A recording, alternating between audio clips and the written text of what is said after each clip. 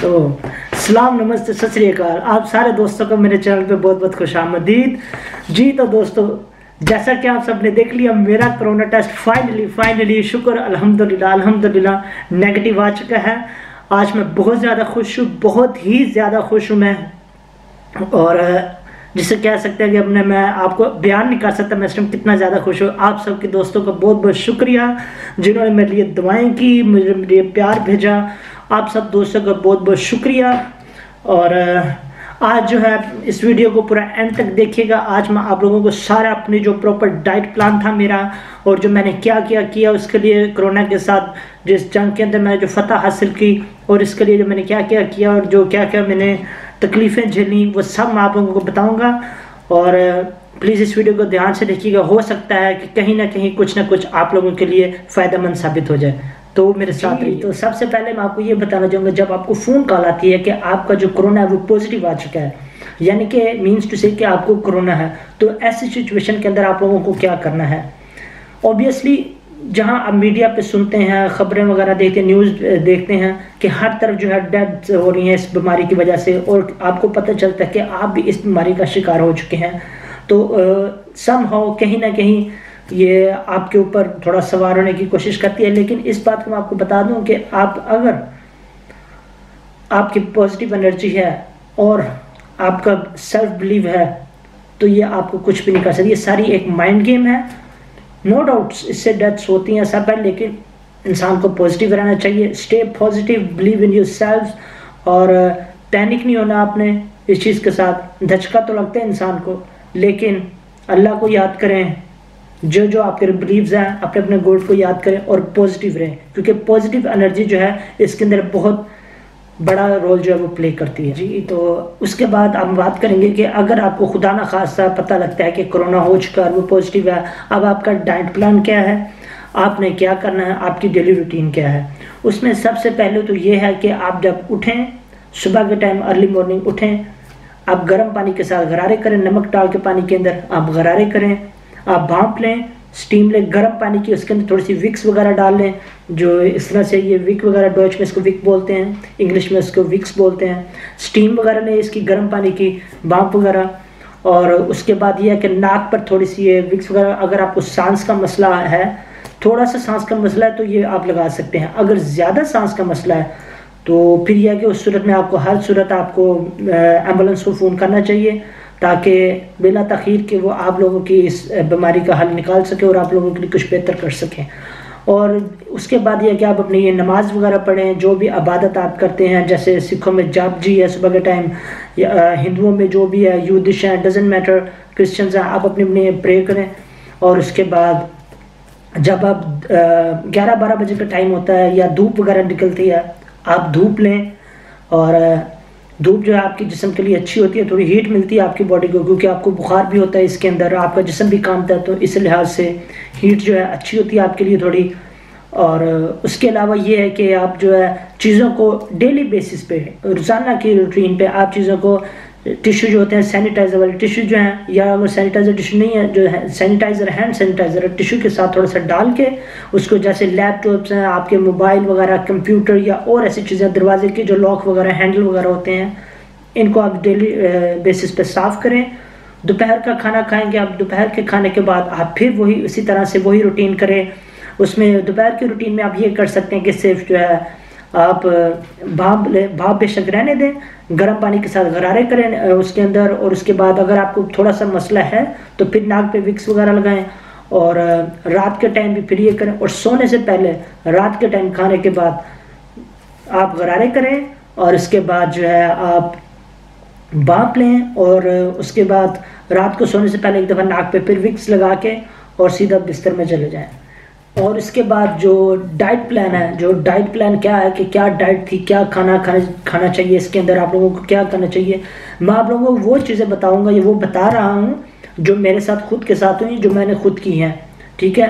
काफ़ी चीज़ें आप लोगों ने सुनी होंगी, कोई कुछ करता है, कोई कुछ ओबियसली वो चीज़ें बुरी नहीं है, वो करनी चाहिए आपको, लेकिन मैं वो बताऊँगा जो मेरा पर्सनल एक्सपीरियंस है। डाइट के हवाले से जो कुछ चीज़ें जो मैं, जो करता रहा हूँ, सबसे पहले जिससे करके जो पानी है पानी जब नीम गर्म पीना, आपने ठंडा पानी ना पिए, बिल्कुल। सुबह उठते हैं जब गरारे वगैरह करके, सारा कुछ करके ये चीज़ें, उसके बाद आप नीम गर्म पानी पिए, ठीक है, एक गिलास। और उसके बाद जूस जो पिए, जूस जो है वो ऑरेंज का हो प्योर नेक्टर वाला, ठीक है, वो ज़्यादा अच्छा होगा क्योंकि उसमें विटामिन ज़्यादा अच्छे होते हैं विटामिन सी वगैरह होते हैं उसके अंदर। तो वो आप लोग ज़्यादा से ज़्यादा पिए, एक गिलास तो कम अज़ कम पिए आप। और ठंडा ना हो जूस, ठीक है। और उसके बाद ये है कि आप जो नाश्ता करते हैं, नाश्ते में आप जो भी चीज़ करें जा जो भी आपने खाना खाना है, लेकिन एक चीज़ का ध्यान कि जो ऑयली चीज़ें हैं, जिसमें फैट होती है या ऑयल होता है, ये आप चीज़ें ना खाएँ। नॉर्मल जैसे रस वगैरह होते हैं चाय के साथ, या कुछ और जो रोटी वगैरह सिंपल होती है, सूखी रोटी सिंपल बोलते हैं उर्दू या पंजाबी में, वो खाएँ, और साथ इसके सालन वगैरह। और उसके बाद जो चाय जो पिए आप, वो दाढ़ चीनी वाली हो दाढ़ चीनी वाली चाय। उसके अंदर सौंफ डालें थोड़ी सी डाल ली है और अदरक वाली चाय पिए आप, ठीक है? ये बहुत ज़रूरी है, अदरक वाली चाय। फिर इसके बाद ये है कि जब आप नाश्ते के बाद दोपहर के खाने का जो दरमियान टाइम है, उसके अंदर आप ये है कि थोड़ा सा माल्टा वगैरह ले लें। एक दो माल्टे खाएँ, माल्टे अच्छे होते हैं, विटामिन से उसके अंदर बहुत अच्छे हैं ये ख़ास तौर पे कोरोना वालों के लिए। और इसके बाद ये है कि सेब वगैरह आप लोग खाएँ। लेकिन मैं आप लोगों को ये कहूँगा, केले वगैरह जो बनाना चाहिए आप लोग ना खाएँ। बेशक केले एलर्जी पैदा करते हैं विटामिन होते हैं, लेकिन ये रेशा भी पैदा करते हैं और इससे आपको खांसी वगैरह आएगी। उसके बाद फिर यही है कि दोपहर का खाना जब आप खाएँ तो फीका सालन हो, उसके अंदर मिर्चें ना हो और तेल जो है ना होने के बराबर हो। बहुत ही कम तेल हो और सूखी रोटी वगैरह हो जाए साथ, उसके वो ज़्यादा बेहतर है।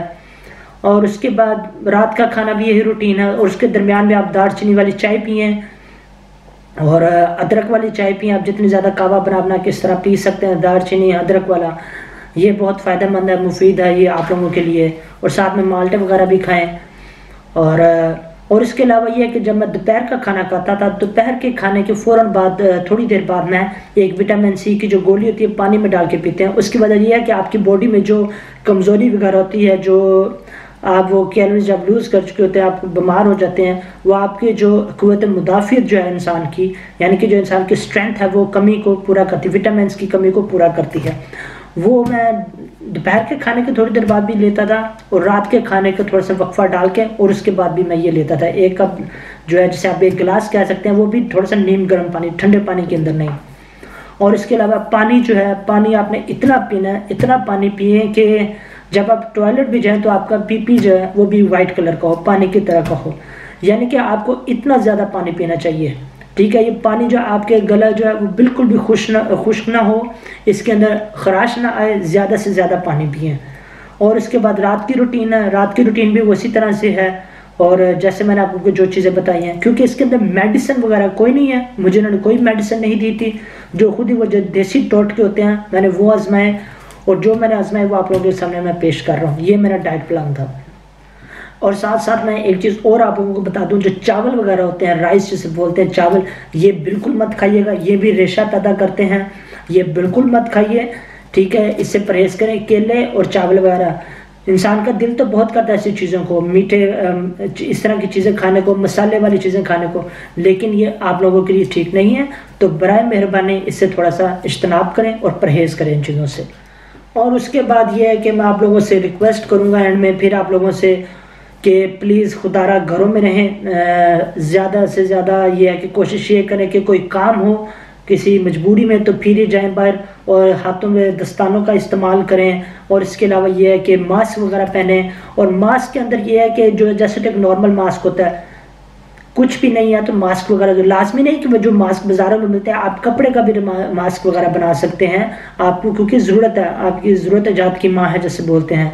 तो आपको ज़रूरत है, आप कपड़े का मास्क बना लें, रुमाल वगैरह लेके कुछ तो वक्ती तौर पे उसका कोई ना कोई अरेंज करें, बंदोबस्त करें। इस तरह से बगैर मास्क के बाहर मत निकला करें, ठीक है? और इसके अलावा यह कि मास्क में मैं जो आप लोगों को बताना पसंद करूँगा, जो मैं यूज़ कर रहा था मास्क वो ये है कि एन नाइन्टी फाइव वाला मास्क है, ये मैं यूज़ कर रहा हूँ।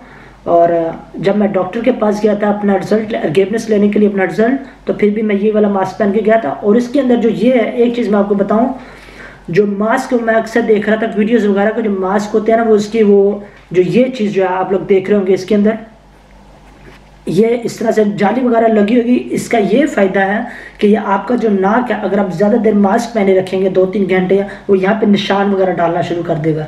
और अगर इस तरह की अगर चीज़ होगी, वो बनी होगी जाली सी, उसे क्लिप जिसे बोलते हैं, नरम सा होगा तो फिर जो है वो आपको निशान वगैरह नहीं पड़ेगा और ये आप लोगों के लिए बहुत फ़ायदेमंद होगा। अपने हाथों को अच्छी तरह से धोएँ और हर आधे घंटे बाद कम से कम कोशिश करें कि 20 सेकंड 20 से 25 सेकंड अपने हाथों को अच्छी तरह से धोएँ।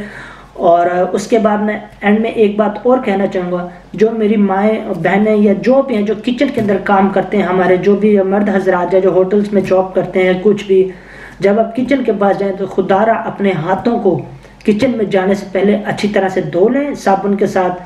बेशक एक दफ़ा या दो दफ़ा तो इसकी वजह यह है कि जो आप हैंड सैनिटाइज़र यूज़ करते हैं, उसमें अल्कोहल होती है। हैंड सैनिटाइज़र जब आपको पता है कि कम से कम 60 परसेंट अल्कोहल तो उसके अंदर होनी चाहिए। तो अल्कोहल जब वो आप लोगों को जब आप हाथ किचन में जाते हैं तो आपके हाथों को जो है आग लगने का खदशा हो सकता है, अंदेशा हो सकता है। तो लिहाजा जो है कहते नहीं होते कि एहतियात जो है वो इलाज से बेहतर है। तो लिहाजा खुद ही इस चीज़ को आप लोग नोट कर लें, ताकि हाथ हाथ धोएँ और फिर उसके बाद किचन में जाएँ।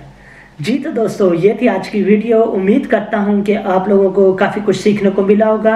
इसमें मैंने पूरी कोशिश की कि आप लोगों को बता सकूँ कि मेरा डेली का डाइट प्लान क्या था और मैं खाता क्या था और क्या क्या मैंने किया, सेफ्टी मैयर्स वगैरह, किस तरह से मैंने क्या कुछ किया। उम्मीद करता हूँ कि आप लोगों के लिए ये कुछ ना कुछ मेरी वीडियो जब मददगार साबित हुई होगी। और अगर आप लोगों के दिल में ये सवाल हो कि मुझे कोरोना से कैसे हुआ, उसका सिम्टम्स वगैरह क्या है तो आप लोग जो है मेरी वीडियो, मेरे चैनल पे देख सकते हैं। मैंने एक वीडियो बना के डाली हुई है। उसके बावजूद भी अगर आप लोगों को सवाल हो तो बिला झिझक आप मेरे से कमेंट्स में पूछ सकते हैं और मैं इन ताला पूरी कोशिश करूँगा कि आप लोगों को जवाब दे सकूँ। और किसी किस्म का कोई सवाल हो, आप मेरे से पूछें और अल्लाह ताला हम सबको इस बीमारी से निजात दिलाए। और एंड में मैं आप सब बहुत बहुत रमज़ान मुबारक हो। और एक दफ़ा मैं फिर आप लोगों का बहुत बहुत शुक्रगुजार हूँ, बहुत शुक्रिया अदा करता हूँ जिन लोगों ने मेरे लिए दुआएँ की और प्लीज़ इस वीडियो को ज़्यादा से ज़्यादा शेयर करें, ज़्यादा से ज़्यादा शेयर करें। हो सकता है कि किसी के लिए ये वीडियो फ़ायदेमंद साबित हो जाए और प्लीज़ मेरे चैनल को सब्सक्राइब करें और बेल आइकॉन पर क्लिक करें और इन ताला मैं पूरी कोशिश करूँगा कि आप लोगों को अच्छी अच्छी वीडियो बनाकर एंटरटेन कर सकूँ। तो अब मैं आप लोगों से इजाज़त चाहूँगा। खुश रहें, खुश रखें दुआ में याद रखें। अल्लाह हाफिज़।